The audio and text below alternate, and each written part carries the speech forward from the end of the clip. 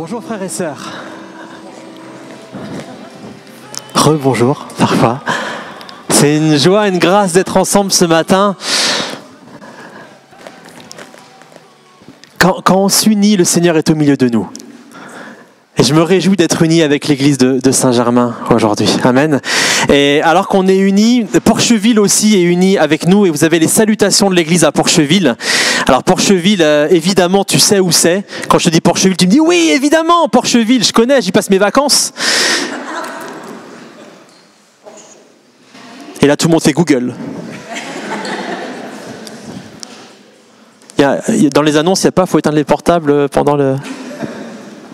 Porcheville, quand tu vas vers Rouen, vers Mantes-la-Jolie, il y a une centrale électrique à un moment, une grande centrale. On est derrière.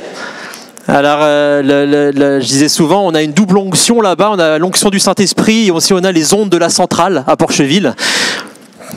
Je ne sais pas si c'est ça la double onction exactement. En tout cas, la centrale ne fonctionne plus, mais le Saint-Esprit fonctionne encore à Porcheville. Alléluia. Et le Saint-Esprit fonctionne au milieu de nous ce matin. Amen.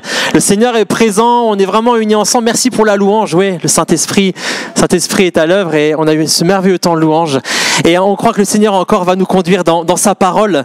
Euh, vous avez les salutations de l'Église Espérance de mon épouse Alexandra, qui n'a pas pu être présente parce qu'elle servait, euh, elle sert en ce moment même à, à l'Église dans, dans la louange. Mais en tout cas, elle vous, elle vous salue bien. Et je vous propose sans plus attendre qu'on puisse euh, ouvrir la parole et on va être autour de, ce thème qui apparaît, qui est étant mes limites. Et quand le Seigneur m'a donné ce thème, je me suis dit, Seigneur, tu as dû te tromper. Parce qu'à Saint-Germain, ils n'ont pas de limites. Alors évidemment, j'ai dit, Seigneur, tu sais, j'ai presque lutté avec Dieu en disant, Seigneur, ça doit être une prédication pour Porcheville, mais pas pour Saint-Germain-en-Laye. Mais bon, vous savez ce que c'est, un pasteur obéit à Dieu, alors je viens vous prêcher sur ce thème. Étant mes limites Est-ce qu'on peut le dire ensemble ce matin? Étant mes limites. Ça fait combien de fois, ça fait combien de temps que tu n'as pas prié cette prière? On va aller ensemble dans les chroniques. Déjà, par exemple, allez, on on fait la blague ce matin. Lire un, lire un passage dans les chroniques, ça étend nos limites, n'est-ce pas? Ça fait combien de temps qu'on n'a pas lu un passage dans les chroniques Un chronique 4. Et en plus, dans un chronique 4, tu as dû zapper peut-être un petit peu ce passage parce que, tu sais, c'est les passages qui parlent des généalogies, qui parlent des noms. Et là, ça parle des descendants de Judas. Un tel qui engendra de la tribu, etc. Et là, il y a plein, plein de choses qui peuvent être un petit peu, même rébarbatives, pas très intéressants à lire. Et là, on arrive au verset 9. Versets 9 et 10, on, on apprend l'histoire de, de Yabetz. Le Seigneur fait ressortir l'histoire de cet homme, Yabetz. Et on va voir ce que Yabetz a à nous dire ce matin. Il est dit au verset 9 que Yabetz était plus considéré, plus considéré que ses frères. Sa mère l'appela du nom de Yabetz en disant C'est parce que je l'ai enfanté dans la douleur. Oui, tu as bien lu.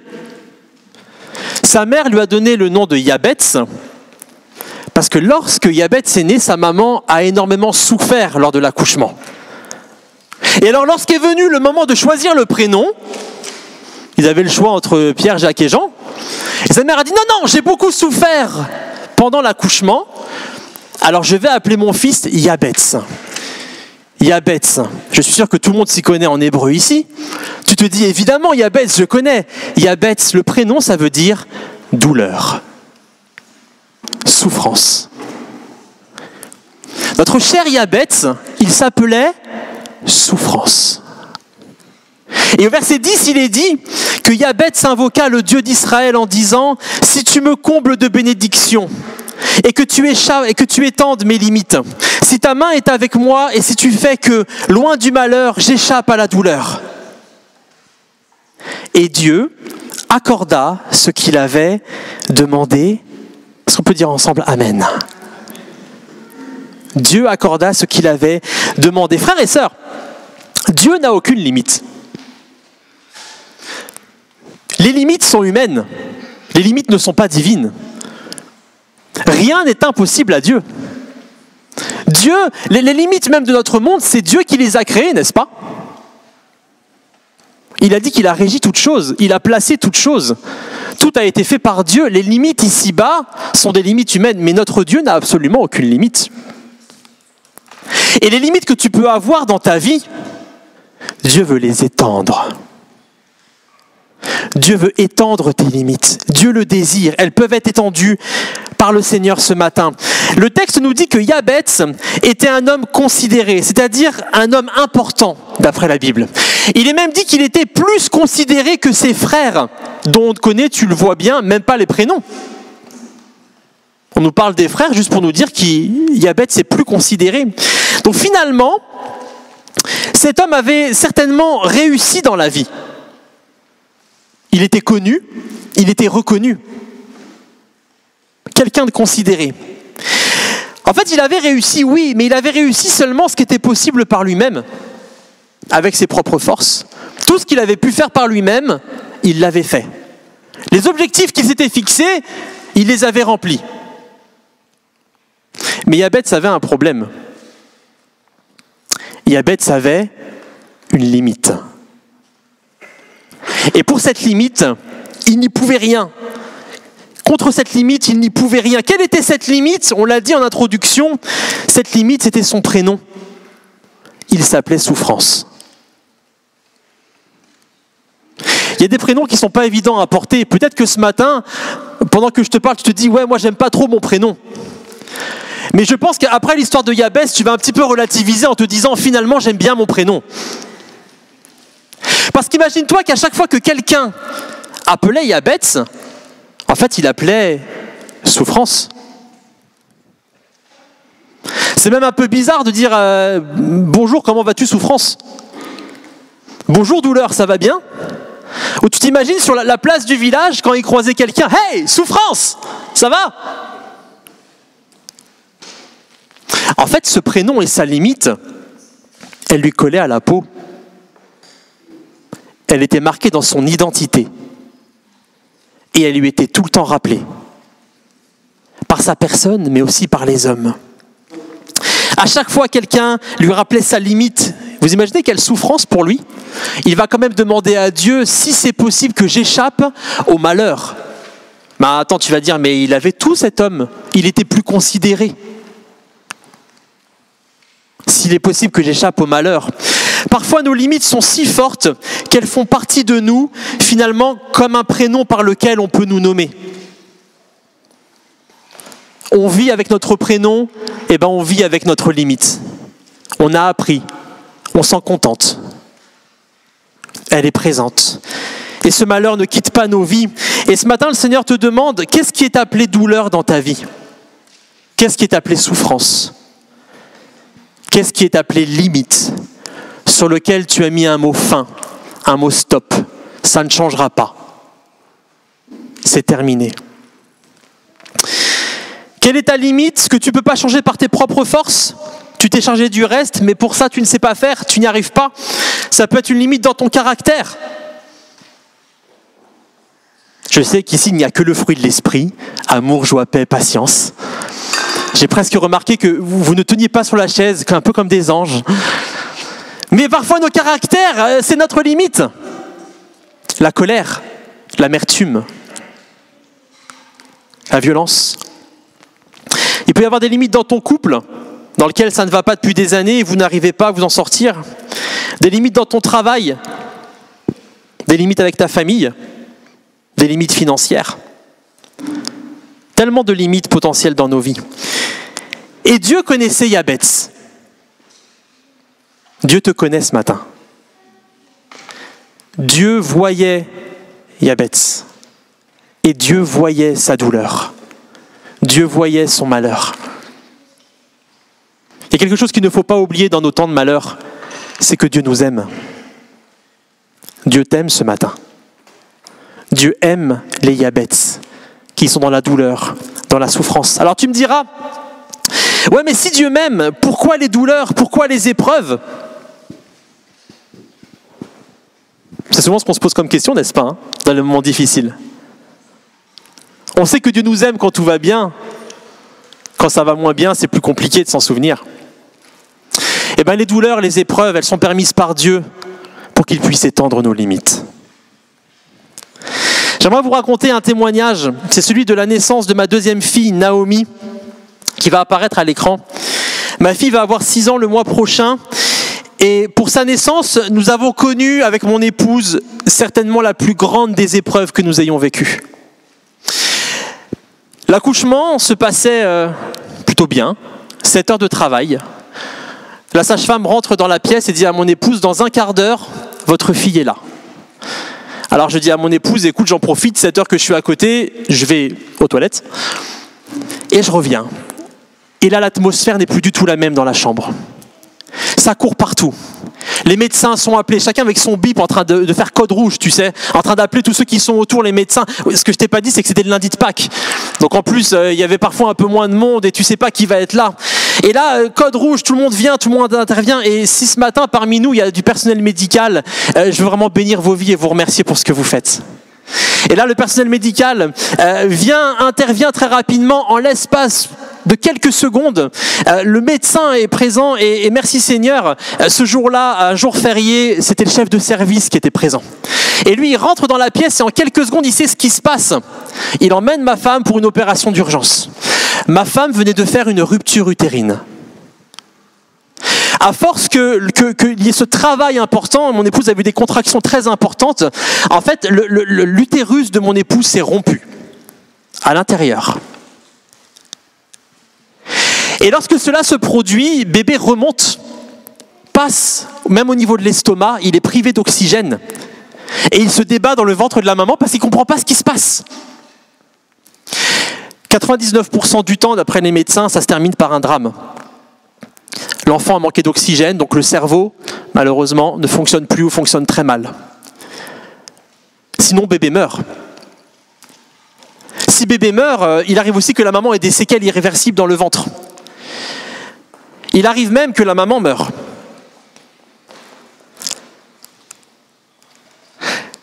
Et là, nous sommes devant une limite. Et là, j'ai ma souffrance. Notre fille Naomi est transférée tout de suite, vous le voyez ici, à l'hôpital de Poissy, qui n'est pas loin. Et là, pour pouvoir euh, sauver son cerveau, ils vont commencer par la mettre trois jours dans le coma. Petit bout de chou, il y a quelques jours, quelques heures. Ils vont la mettre dans le coma et alors que nous nous sommes transférés à l'hôpital de Poissy, on arrive à l'hôpital, on rencontre les médecins et les médecins, et je le comprends tout à fait, sincèrement, ils n'ont pas un diagnostic euh, très favorable et on nous dit, vous savez, préparez-vous seulement au pire. Waouh D'un moment où notre fille allait naître, où la joie allait être là, nous sommes tombés sur une pente savonneuse, dans un gouffre de néant, de souffrance, de douleur et nous étions au bout de nos limites. Il n'y avait plus qu'une seule chose à faire, c'était prier. Invoquer Dieu comme Yabetz lui-même a invoqué Dieu. Alors on s'est mis à prier. On a invoqué le nom du Seigneur. Et ma fille est restée 15 jours en soins intensifs. Et nous avons prié. Et un jour nous arrivions, on débranchait une machine. Le lendemain, nous venions, il y a un résultat positif, monsieur Verne.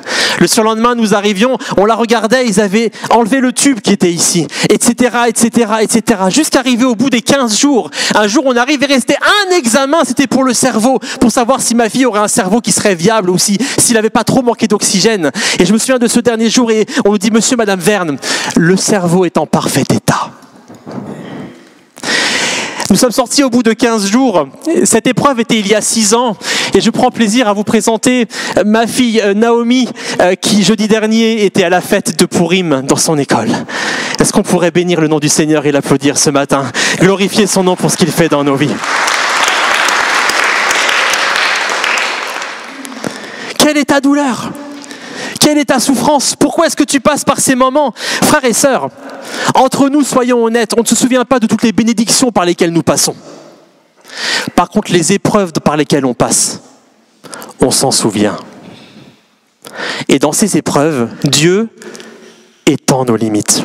Avec mon épouse, ça a été peut-être le moment où nous nous sommes le plus rapprochés de Dieu, confiés en Dieu, où nous avons fait des pas de géant dans la connaissance de Dieu, dans l'abandon à Dieu dans les moments d'épreuve. On a tellement appris de lui. Tu sais que Jésus n'a pas été épargné par les épreuves. Il était appelé homme de douleur. Homme de douleur. Pour que cela change dans ta vie, il faut que ta limite passe de tes possibilités à celle de Dieu. Il faut passer de l'humain au divin. Sortir de tes limites pour passer à celle de Dieu. Quelques exemples de personnages bibliques à qui Dieu a, a étendu les limites, a étendu les limites, pardon. À Noé. Noé, tu vas construire une arche. Mais il n'y a pas d'eau, Seigneur.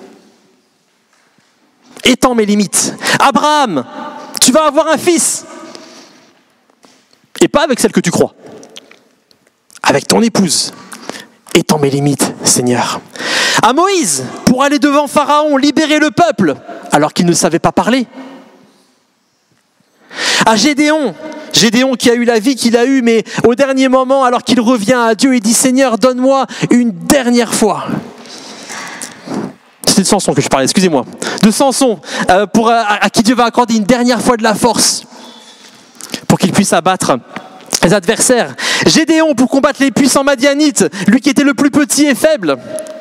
À Pierre, étant mes limites, Seigneur, et que je puisse marcher sur l'eau. Je vous rappelle qu'il était pêcheur. Et qu'un pêcheur, ça sort pas sur l'eau en pleine tempête. Il sait ce qui se passe, le pêcheur. Il, il coule. Étends mes limites pour que je puisse marcher sur l'eau à ton commandement. Paul, Paul qui était persécuteur de chrétiens, qui est devenu apôtre, prédicateur de l'évangile. Étends mes limites. Et plus encore aujourd'hui, plus près de nous, toute l'humanité, ta vie ce matin, Jésus-Christ est envoyé et il peut étendre tes limites. Jésus a étendu toutes les limites. La première limite qu'il a brisée, c'est celle du péché. Jésus t'a réconcilié avec Dieu. Chose que tu ne pouvais pas faire par toi-même. Les sacrifices étaient insuffisants. Il fallait le sacrifice parfait de l'agneau de Dieu qui vient lui-même dans un homme. Alléluia. Et Jésus a réconcilié l'homme avec Dieu. Mais plus encore, toutes les limites peuvent sauter ce matin. Lisons ensemble Éphésiens 3, versets 20-21. Il est dit que, or, à celui qui, par la puissance qui agit en nous, peut faire infiniment au-delà de tout ce que nous demandons ou pensons, à lui la gloire dans l'Église et en Jésus-Christ, dans toutes les générations au siècle des siècles. Est-ce qu'on peut dire ensemble Amen. Par la puissance qui agit en toi. Est-ce que tu sais que tu as une puissance qui agit en toi? Jésus, en cet instant, il intercède pour toi. Il agit pour toi.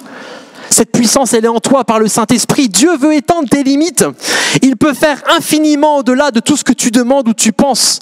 Ce matin, avec Jésus, tout est possible à celui qui croit. Tout est possible à celui qui croit. Dieu peut étendre toutes tes limites, les limites du corps. Est-ce que tu crois que Jésus guérit encore aujourd'hui? Dieu peut étendre les limites du corps. J'aimerais vous présenter, elle va s'afficher, une fidèle de notre église, elle s'appelle Aliette. À ce moment-là, elle avait 75 ans. Et j'aimerais vous parler de son témoignage. Aliette, cette personne, est venue me voir un jour. Euh, avant d'être dans le ministère à temps plein, je travaillais dans une banque. Et donc je recevais mes clients et un jour, de mon bureau, je vais dans la salle d'attente. Et il y a cette dame qui est là dans la salle d'attente sur la chaise. Je l'invite à venir. Et elle vient avec sa canne, comme cela. Et pour se mettre debout de sa chaise, elle a mis un temps infini. Elle se lève tellement lentement. Elle a des genoux qui sont complètement en vrac, complètement brisés. Elle a eu des opérations. Elle a du mal à tenir debout. Elle a du mal à marcher. Elle ne peut plus rien faire chez elle. Plus de ménage, quoi que ce soit. Cette personne, elle vient me voir pour le dossier que tu vois dans la main là d'Aliette. Elle vient me voir. Elle me dit, euh, Monsieur le banquier, faut qu'on fasse le point sur mes comptes parce qu'il faut que je remplisse un dossier MDPH. Je veux être reconnu handicapé. J'ai besoin d'aide à la maison. Et avec cette personne, on se met à discuter. Et puis, euh, puis j'étais banquier, mais j'étais quand même chrétien. Et puis, ben, je me mets à lui parler de Jésus. Jésus qui l'aime. Jésus qui agit. Jésus qui est présent. On parle pas ensemble pendant une heure et, vient le moment où on doit se laisser. Et euh, là, dans mon cœur, là, dans mon cœur, j'ai à cœur de lui dire euh, Est-ce que je peux prier avec vous?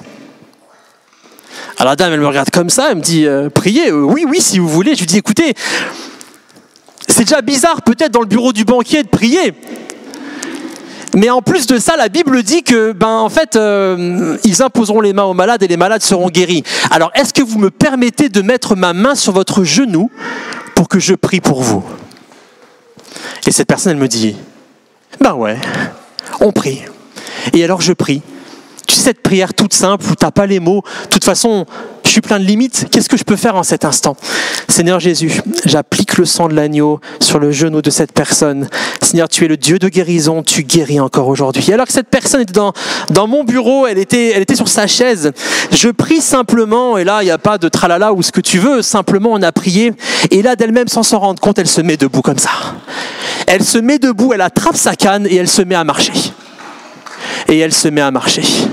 Et elle se met à marcher et elle se met à marcher. Et je travaillais dans un bureau de poste. Alors tu sais, quand tu sors du banquier, de chez le banquier à la poste, tu passes dans la salle du public. Et elle marchait comme ça, avec sa canne à la main au milieu des gens. Et elle disait, je comprends pas, je comprends pas, je comprends pas, je comprends pas. Et ce jour-là, si tu étais à la poste de Gargenville et que c'était bizarre, c'était la faute du Seigneur. Le Seigneur venait de guérir son genou instantanément.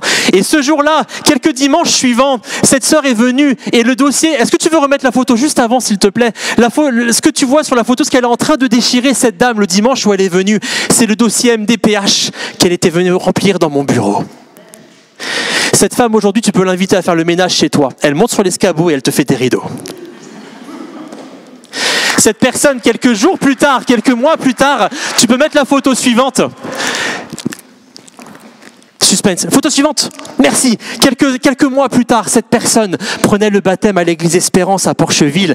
Dieu avait étendu ses limites. Et cette personne, il n'a pas seulement, il ne s'est pas seulement occupé de son genou. En voulant toucher son genou, Jésus a touché sa vie. Il a étendu les limites de sa foi, les limites même de son salut. Et alors qu'il a étendu les limites de son genou, il est venu toucher sa famille aussi. Parce que ce que je t'ai pas dit, c'est qu'elle avait un mari violent. Deux fois, son mari a failli la tuer. Aujourd'hui, son mari, a une réconciliation qui se fait. C'est devenu un mari qui est doux. Il n'est pas encore au Seigneur, mais on prie pour lui. Son caractère a complètement changé. Ce que je t'ai pas dit non plus, c'est que les enfants ne parlaient plus au papa à cause de la violence.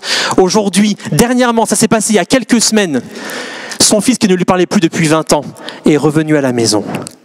Et ils ont passé un moment ensemble avec le papa. Jésus a étendu les limites étendu les limites. Alors quelle limite a besoin d'être étendue dans ta vie? Les limites du corps, mais les limites de l'âme. Dieu transforme tous les caractères. Je connais une personne qui a, qui a été jalouse, maladive avec son mari pendant deux ans. Deux ans, à mettre en danger le couple, une jalousie totale. Et un jour, le Seigneur est venu à force de prière et il a lui-même ôté la jalousie du corps de cette personne. Aujourd'hui, dans le couple, ça se passe merveilleusement bien. Le Seigneur peut tout enlever, même ce qui est ancré en toi, ce que tu ne peux pas, tes limites. Il y a aussi les limites spirituelles que Dieu peut enlever, les blocages dans la sanctification, dans la relation avec Dieu, dans ton service pour Dieu. Quelles limites as-tu? Étends tes limites. On a tous des limites, moi le premier ce matin. Seulement la différence, c'est que certains les acceptent, certains les ignorent, et d'autres encore, eh ils en sont résignés. C'est comme ça. Ta limite dans ta vie sera étendue si tu refuses la limite et que tu la confies à Dieu. Yabet, il n'a pas seulement demandé une bénédiction. Dans sa prière, il a dit, Seigneur, comble-moi de bénédictions. Je veux tout ce qui est prévu pour ma vie. Pas seulement le minimum, le nécessaire. Yabet, il n'a pas fait une demande pansement. Il n'a pas fait une demande de bénédiction pansement. Tu sais, le pansement où tu mets juste sur le bobo comme ça en espérant que ça guérisse tu peux mettre un pansement s'il y a un genou qui est brisé, euh, ça va rien guérir du tout. Yabet ne veut pas dire à Dieu, donne-moi le minimum, couvre au moins la douleur et que tant pis si ça reste, mais au moins en surface ça ira mieux. Yabet, il va dire au Seigneur, Seigneur, je veux une bénédiction solution. Je veux que tu règles le problème pour qu'il ne soit plus trouvé dans ma vie et que j'en sois libéré. Plus seulement de pansement, je veux une solution afin que je ne vive plus avec. Pour terminer, J'aimerais qu'on voit ensemble, t'encourager ce matin avec les quatre actions qui ont permis à Jabet, à Yahébet, que ses limites soient étendues. La première, c'est que Yabet, il n'a pas délaissé Dieu, malgré la douleur. Et le diable fera tout pour que tu délaisses Dieu dans tes moments de douleur. Que tu penses qu'il t'a abandonné et qu'il n'agira pas pour toi. J'ai même croisé parfois, vous savez, des chrétiens, des personnes qui étaient aigris de la bénédiction de l'autre, tellement ça leur faisait du mal parce qu'à eux, ça n'arrivait pas. Le diable avait réussi à les convaincre, à les mettre dans l'aigreur. Mon ami, ne délaisse pas Dieu dans l'attente de ta bénédiction. Ne délaisse pas Dieu. Yabetz va dire à Dieu, si ta main est avec moi, que la main du Seigneur soit toujours avec toi, même dans tes moments difficiles. Nos douleurs doivent être une occasion de nous rapprocher de Dieu, pas une raison de le délaisser. Le diable veut que tu le délaisses, mais si tu le délaisses, alors vraiment tu seras vaincu. Alors vraiment tu seras vaincu. La deuxième chose que va faire Yabetz, c'est qu'il a eu la volonté que Dieu change sa condition. Il a eu la volonté que Dieu étende ses limites. Et parfois on ne veut pas que ça change. On est habitué à nos douleurs et on vit avec. Et on a même peur qu'en changeant, ça nous fasse du mal de remuer tout ce qui ne va pas. Mais Yabet s'est battu contre cette pensée. Je veux changer, je veux que tu étendes mes limites. Parce que Dieu veut te bénir. Parce que c'est sa volonté. Et que le Seigneur attend ta volonté à toi pour pouvoir te la donner. Est-ce que tu le veux toujours? Troisième point, Yabet, il va invoquer Dieu. C'est-à-dire qu'il va décider d'abandonner les solutions humaines pour que ce soit maintenant dans les solutions de Dieu. Il va prier, il va invoquer Dieu, il va se souvenir de la puissance de Dieu dans la prière. Il va vouloir arrêter de faire par lui-même et il va dire maintenant Seigneur, toi, agis. Et enfin, dernier point, c'est que Yabetz a prié, mais il va aussi prier de la manière qui plaît à Dieu. Dans sa prière, il ne va pas incriminer Dieu pour son problème. Pourquoi ça, Seigneur? Pourquoi ça se passe? Tu n'étais pas là avec moi. Non, au contraire. Il ne va pas incriminer Dieu, mais il va parler à Dieu de son problème. Seigneur, je dépose entre tes mains ma douleur, ma souffrance, ma limite. Il ne va pas l'incriminer, il va lui en parler et aussi il ne va pas limiter sa prière. Frères et sœurs, trop souvent nous prions petit. On prie à minima. On prie pour la bénédiction pansement. Mais alors, je ne sais pas comment c'est pour vous à Saint-Germain, mais nous, à Porcheville, on a un grand Dieu. Vous avez le même? Mais alors, si on a un grand Dieu, pourquoi on prie petit? Est-ce qu'il y a bête, il va se contenter de dire Seigneur, donne-moi le minimum Il va dire Non, comble-moi de bénédictions. Je veux échapper au malheur. Je veux que ça s'arrête désormais. Je veux plus prier petit, Seigneur. Je veux prier ce grand Dieu que tu es. Et il va dire, euh, Seigneur, je veux que tu changes mon langage. C'est nécessaire pour que tu pries la prière qui plaît à Dieu. Je veux plus prier comme avant, je veux prier cette prière qui te plaît dans la foi. Peut-être pas une prière parfaite dans les mots, mais une prière dans la foi qui plaît à Dieu, que Dieu entend. Comble-moi de bénédictions et étends mes limites. Si tu pries les prières qui plaisent à Dieu, sache qu'il t'exaucera. Il t'exaucera. J'aime beaucoup ce passage d'un chronique parce que à la fin de la prière de Yabetz, tu pourras le relire, mais il y a trois petits points avant qu'il ait dit que Dieu l'a exaucé. Et pour moi, ces trois petits points, c'est vraiment là le point de tension. C'est le moment où tu as prié et on ne sait pas ce qui va se passer. La Bible ne dit pas comment il a agi. La Bible ne dit pas combien de temps il a fallu pour que Dieu agisse. La Bible dit juste que et Dieu a exaucé sa prière. Et dans ta vie ce matin, peut-être que tu as prié et que tu es lassé dans les trois petits points, tu as abandonné. Le Seigneur veut te dire à nouveau, prie comme Yabetz, étends mes limites. Peut-être que Dieu n'a pas agi comme tu l'espérais. Il faut que tu te soumettes à Dieu et que tu dises, OK Seigneur, j'abandonne ma pensée, j'abandonne ce que je voulais. Toi, étends mes limites comme tu le veux, toi. Seigneur, dans les trois petits points, c'est toi qui es Seigneur. C'est toi qui es maître. C'est toi qui agis. Dans ces trois petits points, Yabet a attendu dans la foi. Il savait que Dieu agirait, il est resté confiant en Dieu. Alors pour conclure, j'aimerais t'encourager aujourd'hui, te rappeler qu'il y a plus. Il y a plus. Quel que soit ton besoin, du corps, de l'âme ou de l'esprit, il y a plus. Étends tes limites. Mais seulement ton âme a-t-elle soif? Est-ce que ce matin tu as soif de plus de Dieu? Soif de plus d'action de Dieu? Alors si c'est le cas, J'aimerais simplement t'inviter, toi aussi, à nouveau, à faire la prière de Yabetz. Étends mes limites. Que Dieu vous bénisse.